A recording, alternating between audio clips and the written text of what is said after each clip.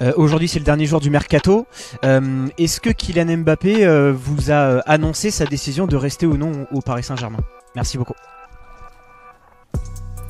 No.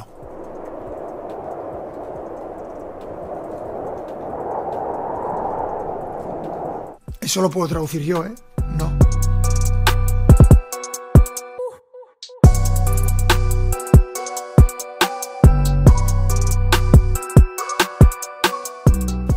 Tous, ravi de vous retrouver dans la quotidienne. Ne parlez surtout pas d'un départ de Kiki à Luis Enrique, beaucoup trop concentré sur la réussite de son PSG qui devrait ce soir se déplacer à Strasbourg sans Ousmane Dembélé, gêné à une cuisse selon l'équipe, mais qui n'apparaît pas dans le point médical du club. Ce sera surtout sans Hugo Ekitike qui a officiellement rejoint Francfort. L'ancien Rémois s'est engagé pour 6 mois en prêt avec option d'achat obligatoire et il a eu droit à un petit mot d'encouragement de monsieur Kylian Mbappé sur les réseaux sociaux. C'est ton moment, dit-il à celui qui n'a disputé que 8 minutes en match cette saison. Alors moi je vous pose la question du jour. Francfort est-il le bon choix pour Hugo Ekitike? Pour rebondir, vous nous dites tout et lundi, on sélectionnera deux commentaires. Après ça, je pourrais aussi vous parler d'Ivan Rakitic qui a signé à Al-Shabaab, de Benjamin Stambouli qui débarque à Reims ou encore de Carlos Alcaraz. Non, pas celui-là, William. Lui, l'Argentin de Southampton qui a rejoint la Juve. Mais le truc, c'est que tout le monde n'a pas eu la chance d'avoir un nouveau club, à l'image de Malang celui qui devait prendre la direction du Havre dans les dernières heures du mercato, a eu un problème, pas d'accord trouvé pour une résiliation de contrat avec Chelsea, avec qui il est lié jusqu'en 2025. Il restera donc dans leur effectif de 542 joueurs. Dans le même temps, on annonçait Saïd Benrama lyonnais. Je vous explique hier, malgré le forcing de Fulham et Brentford pour le débaucher, l'OL a réussi à tout boucler. Mais coup de théâtre à Londres, le transfert a capoté. Vous savez ce qui s'est passé? Ben West Ham n'a pas renseigné les bonnes infos dans le logiciel de la FIFA. Oh là là, ils ont vraiment pas fait exprès. C'était sûrement le tout premier transfert qu'ils réalisaient de leur vie. Du coup, le prêt de 5 millions avec option d'achat de 15 millions, paf, il était à ça de lui passer sous le nez. Alors que regardez, il avait passé sa visite médicale et rencontré des fans. L'OL dans la foulée a publié ce communiqué dans lequel il remet en question le comportement de West Ham. Sauf que cet après-midi, eh bien le directeur général de l'Olympique lyonnais, Laurent Prudhomme, a confié à l'équipe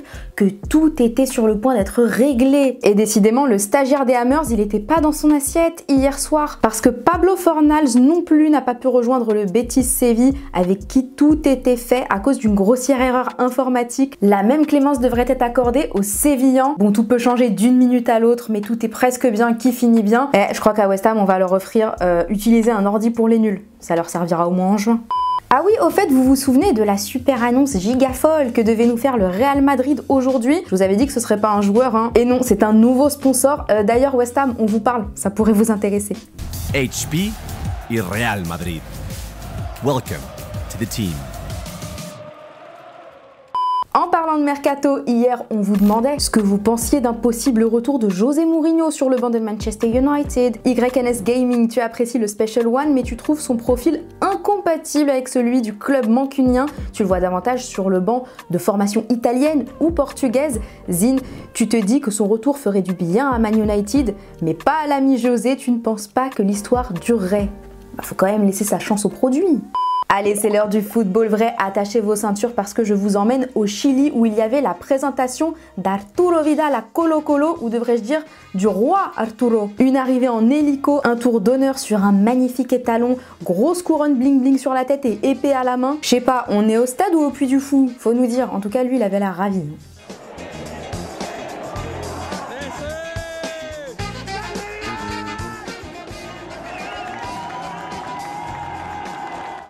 Sans transition, hier il y avait le choc des titans de Last Dance entre Messi et Ronaldo.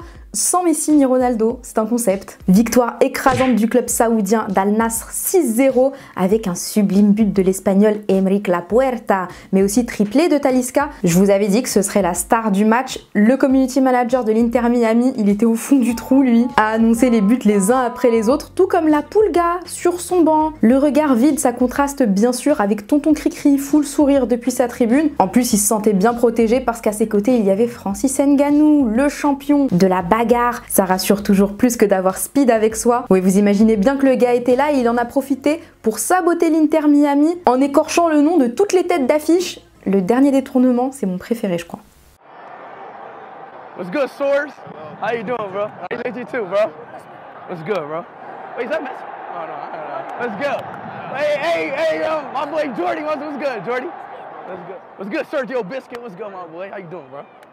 Ce soir, retour de notre Coupe d'Afrique des Nations adorée avec les quarts de finale qui débutent Nigeria-Angola, suivi de RDC-Guinée. En compte, il y avait le sélectionneur guinéen Kaba Diawara et un journaliste congolais lui a demandé comment il abordait ce match face à une RDC qui veut, je cite, chicoter tout le monde. Réponse pleine d'humour, c'est vraiment l'ambiance qu'on aime. Je crois que mes gars sont, vraiment dans le, même état d'esprit. Et c'est clair que demain, il y a soit vous, soit nous, on va rentrer à la maison. Ça, c'est la logique de cette compétition. On va essayer que ce soit vous. Et après, je ne sais pas comment on va jouer, mais on va, on va tout faire pour vous, vous renvoyer avec votre chicotte là. On va, on va essayer de vous renvoyer demain. Et tenez, grâce à Umbro, vous pouvez tenter de remporter ce maillot. L'extérieur de la RDC, regardez ça, petit style en blanc. Pour l'avoir, il faut être abonné à notre chaîne YouTube, on vérifiera et vous commentez Congo, here we go. Voilà, comme c'est écrit euh, ici, que la force de Chancel soit avec vous. Et encore merci à Umbro pour le cadeau. Demain, énorme choc qui se joue, ce sera autour de la Côte d'Ivoire d'affronter le Mali. Les éléphants, faut le dire, on les attendait pas ici. Le problème, c'est que maintenant, leur coach intérimaire, Emers Faé, leur met la pression. Il a vraiment plus leur temps.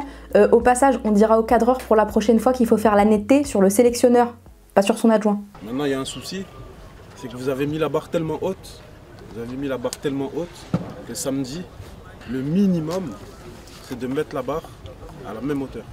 On ne peut plus, on peut plus aller plus bas. Ce qu'on a fait hier, c'est notre minimum.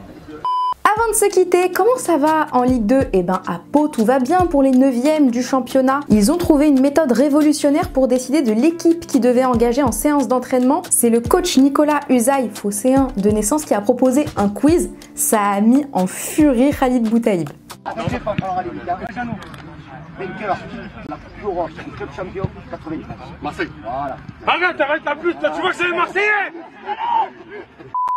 Frère tu connais pas les clubs français eh, Frère, il fait que dire on est français, les français, les français, c'est même pas que le club français a gagné, frère et voilà, c'est déjà la fin de la quotidienne. On va se retrouver lundi, mais avant ça, on va se quitter avec les premières images exclusives de Sacha Boy lors de son arrivée au Bayern Munich. Il raconte tout ça dans Téléfoot dimanche dès 11h. Allez, à lundi, ciao Je m'appelle Sacha Boy, 23 ans, nouveau joueur du Bayern Munich. Voici ma story. il y a le Bayern qui vient, c'est pas deux fois. C'est un rêve pour moi d'être ici. Et c'est une opportunité pour moi de franchir une grosse étape dans ma carrière, même en tant qu'homme. Et je suis très ravi d'être ici. En rejoignant le Bayern Munich à 6 mois de l'Euro, timing parfait. Quand tu es dans un club comme le Bayern Munich, euh, tout le monde regarde.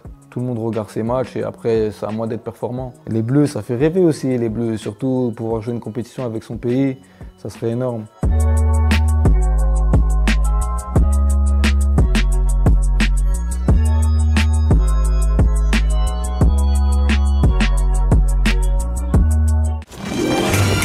C'était votre programme avec Winamax.